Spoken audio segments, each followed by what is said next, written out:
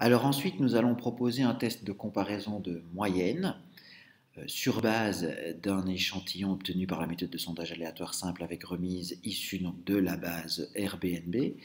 Dans cette première colonne, j'ai les prix qui sont échantillonnés de manière tout à fait classique.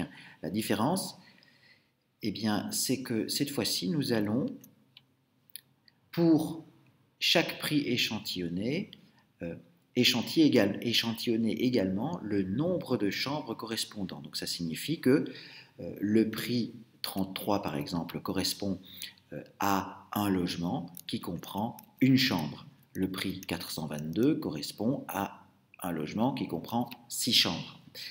Et donc pour obtenir cet échantillon-là, nous allons procéder d'une manière très similaire à celle qui a été euh, effectuée précédemment. C'est-à-dire qu'un prix, par exemple 422 ici, il a été obtenu en euh, utilisant la fonction de décalage, la fonction offset, et en prenant comme référence n1, c'est-à-dire le prix, et en, en le décalant d'une valeur p4, p4 correspondant à un nombre aléatoire généré entre 1 et 11 629. Nous avions vu ça précédemment, donc ici il y a le chiffre 11 616.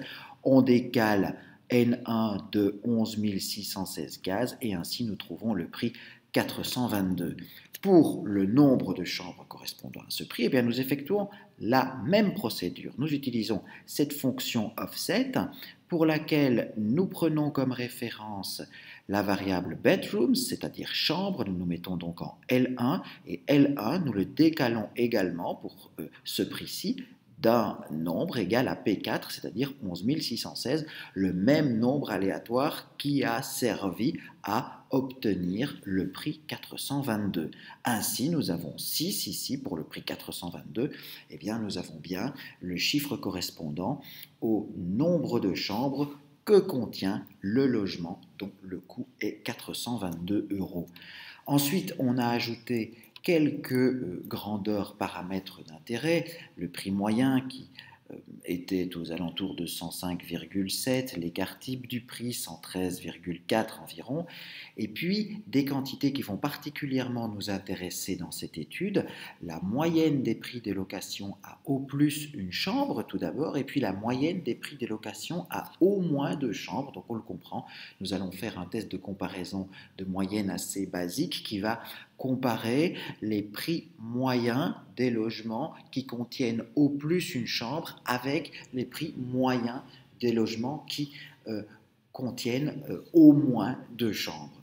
Nous avons également calculé la variance pour ces prix de location à au plus une chambre et au moins deux chambres. Nous obtenons 12 et 392. Nous savons que ça a une importance puisque selon que l'on a des variances qui sont égales ou pas égales, euh, lorsqu'on effectue des tests d'hypothèse, de comparaison de moyenne, eh bien on va utiliser des, des statistiques de test pardon, qui sont différentes. Voilà, alors nous savons que nous allons donc effectuer un test de comparaison de moyenne. D'une part, on va comparer euh, d'un côté la, moyenne euh, du euh, prix d'une location à au plus une chambre avec la moyenne du prix d'une location avec au moins deux chambres. Bien entendu, nous ne sommes pas censés connaître ces quantités-ci, il s'agit de chiffres de la population, mais encore une fois, comme d'habitude, ces chiffres de la population vont nous aider à évaluer de la, qualité des, de la, des procédures que nous développons par la suite.